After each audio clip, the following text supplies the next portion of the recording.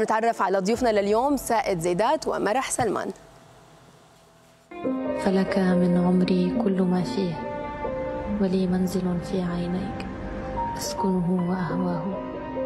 شريك الروح والقلب.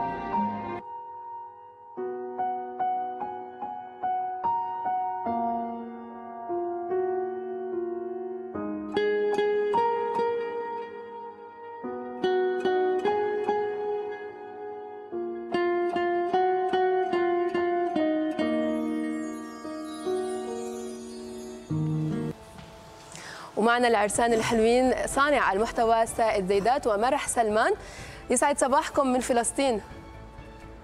صباح الخير. سعد صباحكم وصباح جميع المشاهدين يا رب. أتوقع عرسكم كان بس من أسبوع فبدي أقول لكم ألف مبروك يا رب.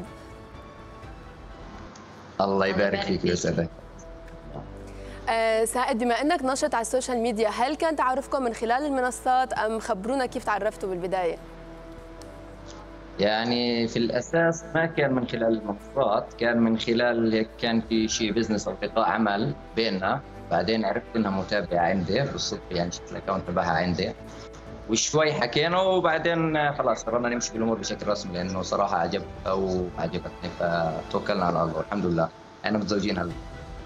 إن شاء الله آه مثل ما بيقولوا زواجة الدهر صح هاني صحيح. ألف ألف مبروك لسائد و مرح ومرح وإحنا جدا سعيدين بتواجدكم معنا لكن خلينا نسألكم هل كان في مشاهير في ال social media بال- ب- بحفل الزواج أم فقط اختصرتوه على العائلة والأصدقاء؟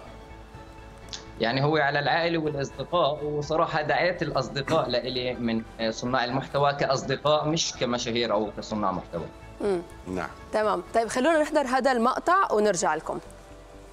تحب فيه يعني أنا عندي فضول ولا شيء كل شيء. شو؟ عصامي شو يعني عصامي بال... بال... بالعامية يعني. إنه الزلمة البيت من حاله وبيعمل حاله من حاله. نعم أنا عصامي. ما راح أكثر شيء حبيتيه في سائد إنه هو عصامي. رح نسألك العكس هلأ. شو أكثر شيء فاجئك فيه بعد الزواج ما توقعتيه من خلال معرفتك فيه كحدا مشهور على ال social media؟ كونك كنت تتابعيه من زمان. هلا هو شخص عصامي صحيح بس آه، إحنا بصراحة ما إلنا كثير فترة متجوزين كنت احكي عن تقريبا حوالي أسبوعين فقط. بس الإشي اكتشفته في خلال هدول الأسبوعين إنه هو شخص إنتاجه عملي زيادة عن اللزوم. يعني إحنا بعد أسبوع من الزواج طلع على الش- على الشغل عادي يمارس حياته العملية بشكل طبيعي. لا هيك رح نزعل منك يا سائد يعني هلا لازم تخفف شغل هذا شهر عسل. لا أنا معاه تمام. بس هو شوي كان عندنا ضغط شغل الفترة هاي وشهر العسل إن شاء الله تعالى هيك مؤجل لأسبوع بعد أسبوع من هلا إن شاء الله. إن شاء الله يا رب. الله يوفقكم.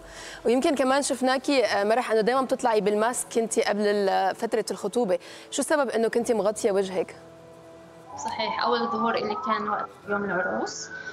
سبب الكمامة إنه أنا شخص مش social جدا إنه كنت عندي private account عليه 200 ل 300 شخص فقط من معارفي وأقاربي آه، أرتبط بشخص عنده مليون ومليون متابع نشط فأنت بتحكي إنه هاي بالنسبة إلي كانت آه، إشي مش متعودة عليه. فاخترت ألبس ال mask عشان أبلش أعود حالي تدريجي لموضوع الكاميرا والناس تعرفني وأطلع بوجهي على ال social media.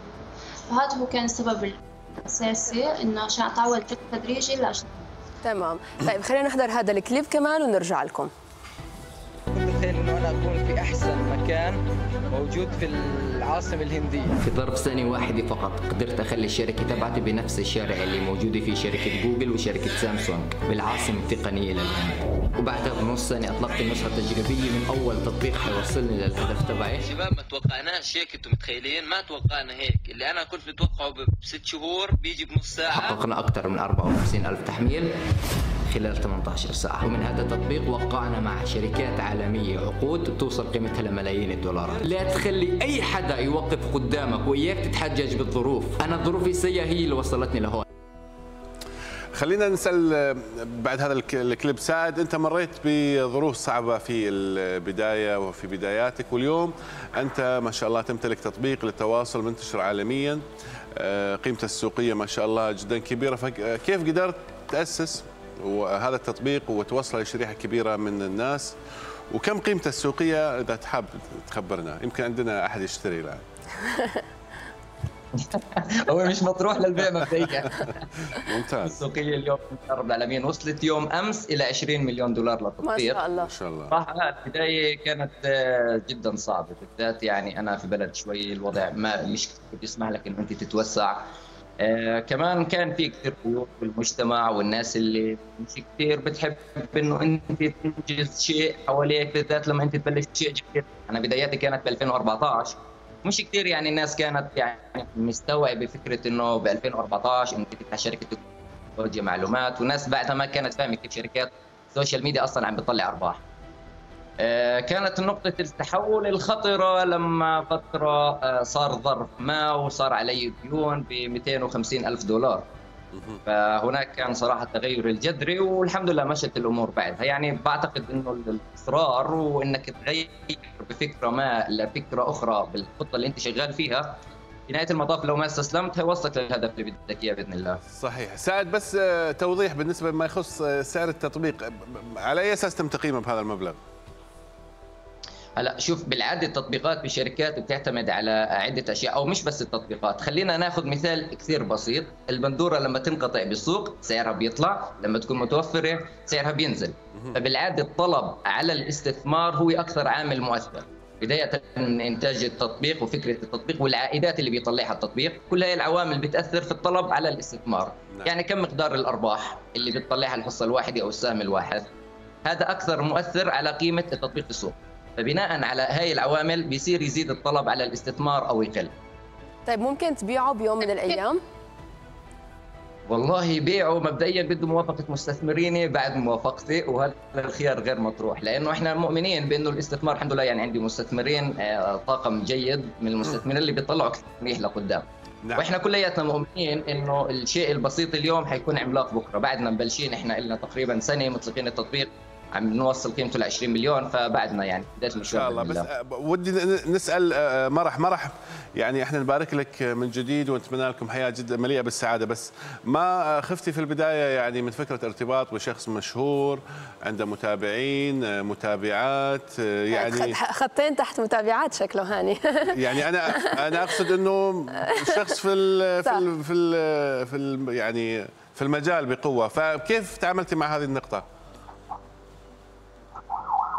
هلا آه، كخوف ما خفت. نعم. لأنه أنا شخص بحب أجرب كثير تجارب بحياتي بحب آه، شيء جديد أدخل فيه. آه، وفوق هيك شيء سائد من الشخصيات اللي يعني أنا كمان شخص عملي شخص بشتغل من أنا عمري 18 سنة آه، تخرجت وكملت بشغلي. فأنا في نقاط مشتركة بيني وبين سائد بشخصياتنا بشكل كثير كبير. فهذا الإشي كان بالنسبة إلي كان الإشي الأساسي إني آه، أكمل ارتباطي بسائد وإنه يصير ارتباط رسمي. الله يوفقكم من يعني ناحية ال social media نعم نعم. الله يسعدك. من باب. الدفاع عن النفس من باب الدفاع عن النفس الوظيفة اللي كانت مرح فيها سابقا مرح تركتها قبل الزواج. وإن ما كانت تركتها لكانت كمان هي اشتغلت معي بأول أسبوع. آه ما شاء الله ما شاء الله. الله فعلا يوفقكم يا رب إن شاء الله بحياتكم وبعملكم. شكرا على تواجدكم معنا بنتمنى لكم كل التوفيق. شكرا يا لين. آه ولين أنت بالنسبة لك إنه آه، ما شاء الله أنت وكريم نجوم في ال social media وضعكم ما في يعني ضغوطات معينة؟ آه، بالعكس هذا الشيء كثير بيريحنا يعني لأنه أنا متفهمة طبيعة عمله وهو كمان. فأصلا كمان متفاهمين كيف بنت- بنتعامل مع المتابعين كيف بنتواصل بس أنا بتوقع لو واحد فينا برا المجال حتكون كثير صعبة. يعني؟ حيكون دائما في عنا آه، نقاشات حول السوشيال ميديا لأنه اللي ما له داخل فيها كثير آه، صعب إنه يفهمها صح.